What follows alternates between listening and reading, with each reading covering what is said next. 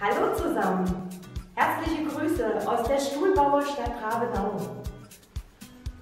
Das Handwerk Stuhlbau bestimmte seit mehr als 400 Jahren das Leben der Menschen in dieser kleinen Stadt. In unserem Museum erzählen wir die Geschichte vom holzhandwerklichen Stuhlbau und wir hüten viele Schätze. Deshalb geben wir euch einen Datensatz, einen kleinen, aber feinen Datensatz mit Fotos unserer wichtigsten Objekte.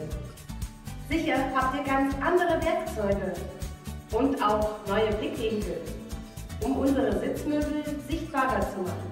Und wir hoffen, dass sie durch euch und die Aktion Coding Da Vinci auch andere bewegen.